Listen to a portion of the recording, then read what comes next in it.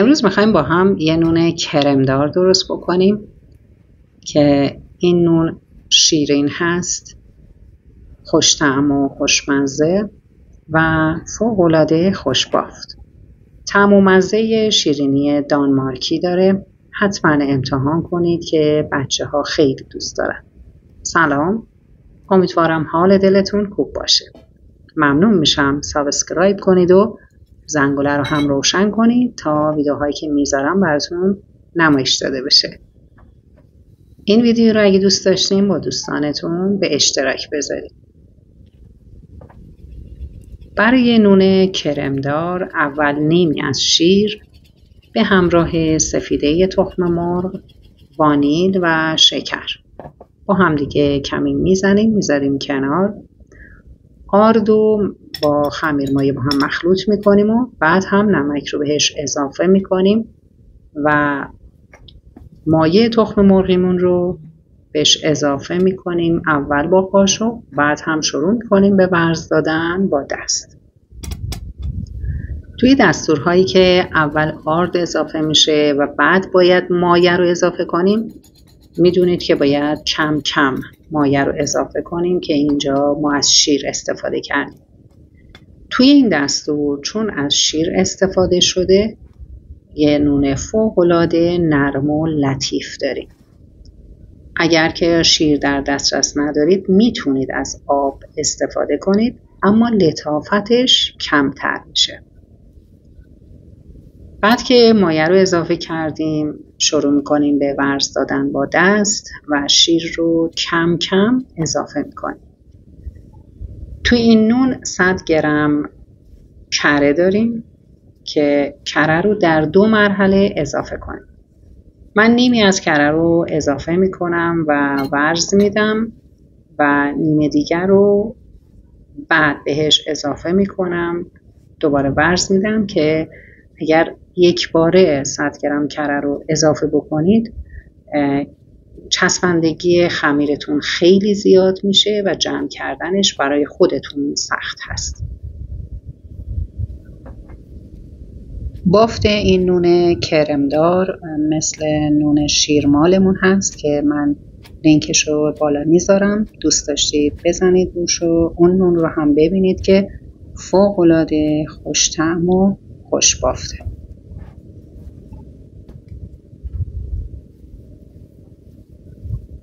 اینجا خمیر رو من می‌ذارم روی سطح کارم و خمیر رو باز می‌کنم. بقیه کره رو اضافه می‌کنم. همینطور که می‌بینید چسبندگی خمیر خیلی زیاد میشه. هیچ آردی اضافه نکنید. بعد شروع می‌کنم به ورز دادن.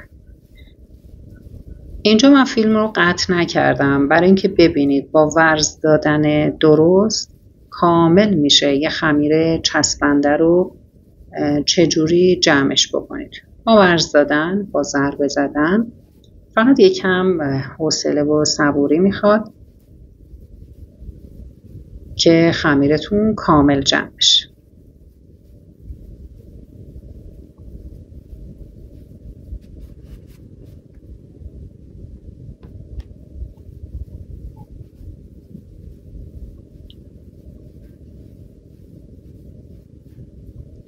می‌تونید اینجا لطافت خمیر رو زیر دستتون احساس بکنید و با انگشتاتون خمیر رو لمس کنید ببینید که احتیاج داره به مایه یا نه.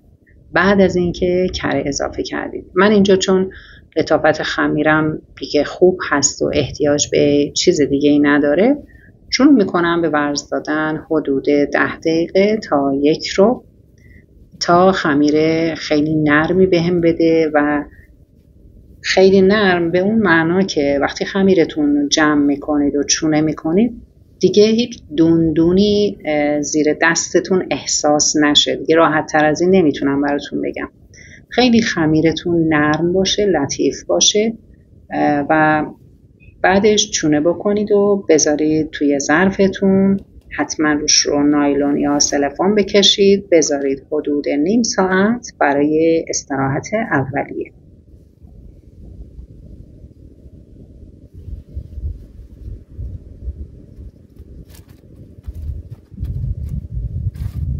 بعد از استراحت اگر که استراحتش کافی باشه مثل اینجا کامل خمیرتون بلند میشه.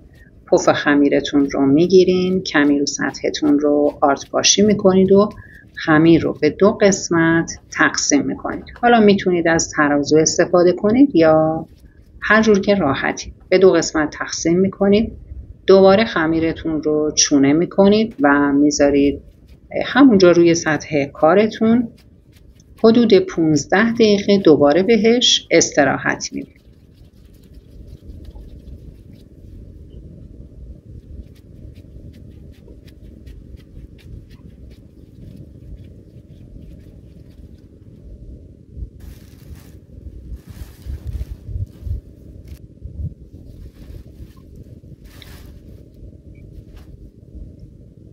حالا می‌خوایم خمیرمون رو باز کنیم. اگه دقت کنید من خمیر رو بر میگردونم روی سطح کارم. برای نون بربری خمیر رو همون جور که بود می‌ذاریم. روی سطح کار اگه فیلمو دیده باشین پست قبل رو. ولی اینجا نه.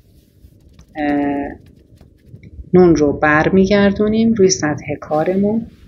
با دست با وردن هر جور که راحت هستین خمیرمون رو باز می‌کنیم. من اینجا البته بگم من خواستم فقط دو تا نون داشته باشم. اگر می‌خواین شما نونهای کوچیکتری داشته باشید می‌تونید به چهار قسمت این خمیرتون رو تقسیم بکنید و چهار تا نون کوچیکتر داشته باشید. با, با وردنه یا با دستتون باز می‌کنید و می‌ذارین حدود یک ساعت تا یک ساعت و نیم تا حجمش دو برابر بشه.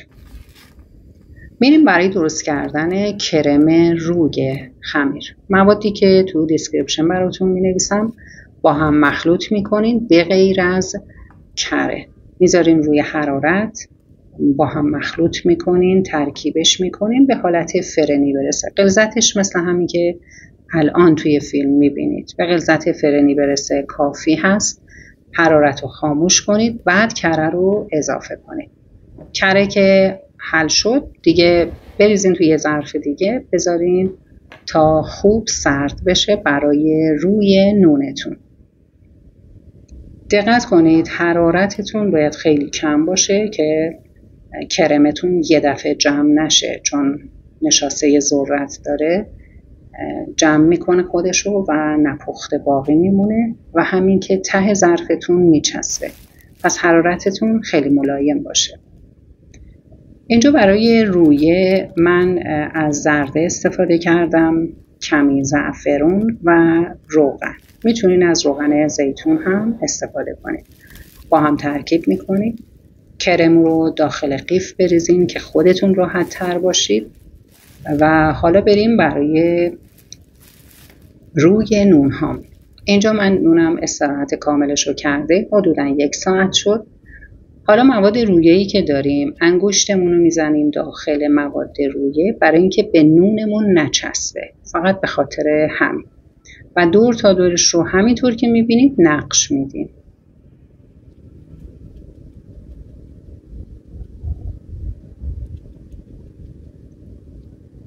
از هر وسیله دیگه هم می‌تونین استفاده بکنین اما نونتون سوراخ نشه.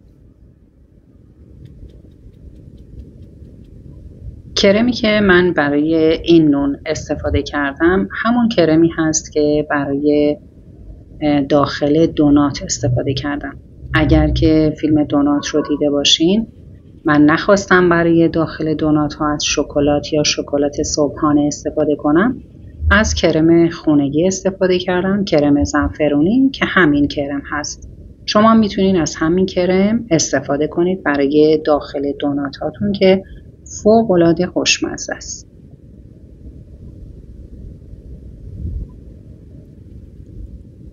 وقتی دارین روی نونتون رو نقش میندازین دقت کنید که آروم این کار رو انجام بدین تا پف نونتون نخوابه.